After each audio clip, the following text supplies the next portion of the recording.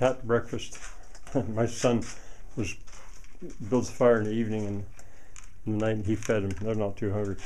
All right, uh, I'm gonna just show you a little bit from a, a great, uh, more of a distance of the best furnace ever. Uh, I'm gonna show you these details later, and I'm gonna sit down in just a minute to talk more slowly. But so that you might have a better understanding of what just what's going on. I'm gonna have a bunch to say about all these holes that I've left. That's for convection. There's the cat's uh, litter box. They got ought to have a little privacy, so it's back here behind. That is not actually the chimney.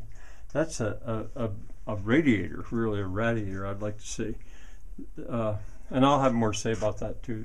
There's the flue.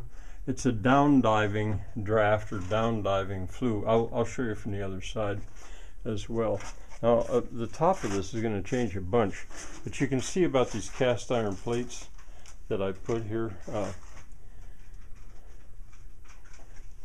I better back up here a little.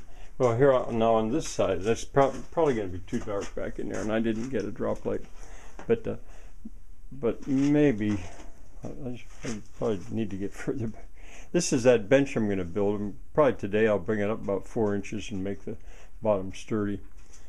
Um, and uh, and then the the draft. Uh, you know, there's the draft for the fire, and back here you might be able to see. It's probably too dark uh, that there is a uh, the balancing draft is right here. All right, so you, and all these holes again, this is for convection. All right, I'm going to sit down. these videos have to be short because of the uploading time where we where we live. All right, there it is. Hi, cat. This is Fluff. Um, the most, the best furnace ever.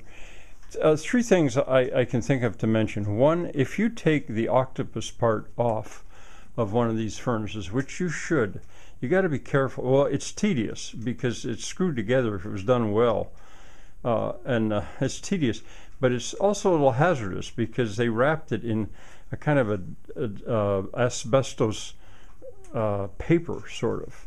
They didn't know how dangerous it was to make it seal better. I have some of that unused new.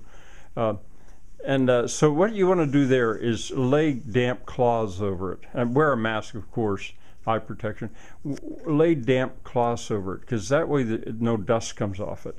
Then you can manage to take it apart if you're careful. You don't have to have a, what do they call it, a, a hazard suit.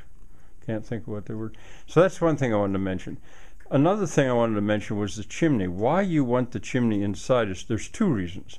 Because of the heat that's lost to the outside. You want that heat in the house, not outside. Uh, and it's a lot of thermal mass. It can do an awful lot to warm the up the upper stories of your house. Uh, so it absolutely should not be outside. Uh, and uh, and, the, an, another reason, if it if it's outside, it cools down, and you're going to have a, a bigger problem with creosote because uh, it, it'll condense out of the smoke on the cold chimney. I'm going to have a bunch more to say about chimneys, but but uh, you you want the chimney to be inside the house, and, and those are, I guess, the two most obvious reasons.